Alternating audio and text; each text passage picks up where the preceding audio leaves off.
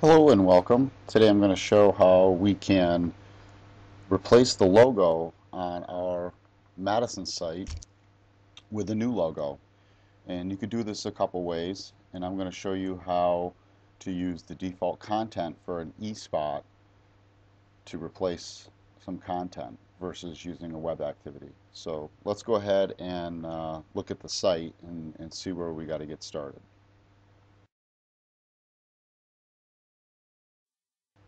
Okay, so in Management Center, what we're going to use is this preview feature here. And that's going to allow us to preview the store. And what's really cool about this feature is you can actually launch the store um, at a specific date and time to test some of your web activities in the future. You can also state whether or not time um, preview elapses as real time elapses. So that'll kind of give you a, a really good way to test out um, your site as time goes by while you're using it if you have any you know time sensitive uh, web activities. But we're just going to go ahead and launch it with the current date and time. And you'll notice since we use the store preview tool we've got this little header up here and we can show the marketing spots. And this is the marketing spot that we're going to work with which is the logo. So this whole area up here it can be configured by the business user. And what we want to do is replace this Madison's logo with a Madison's Wear logo. So let's go ahead and uh, go back to Management Center and, and replace that.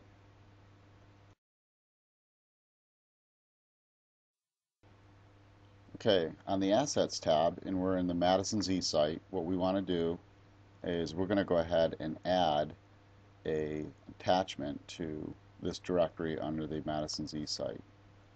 So we'll go ahead and select new file and we will upload this to the system and this will now point to the logo and we can actually preview the logo later but we'll just go ahead and upload it and close. So the next thing we need to do is we now need to associate this particular file with some content that can be displayed on the site. And we do that in the Marketing tab. And we'll select the Madison eSite. We go under Content. And we're going to create new content and we'll call this Madison's Wear logo. And we can actually search for it.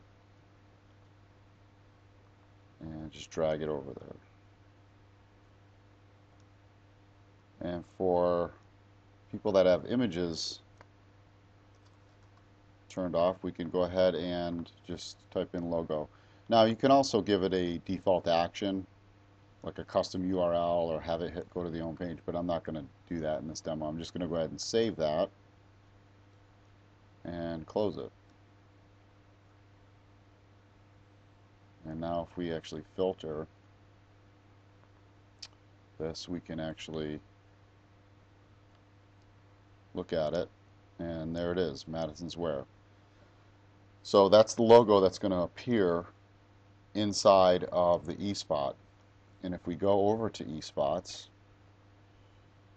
uh, we can actually look for the store logo eSpot.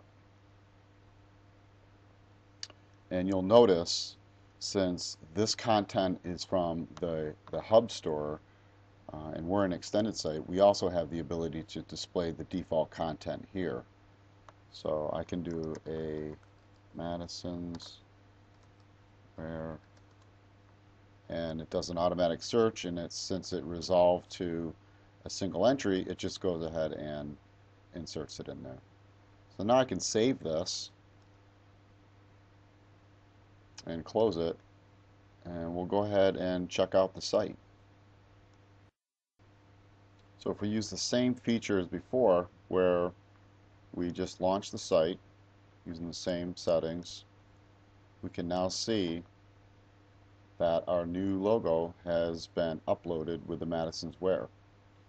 So this is a pretty easy tutorial, but um, I think it's kind of neat because instead of using web activities for, for an eSpot, we use the default content field, which basically just says, hey, this is the content for that field regardless of date, time, or anything else.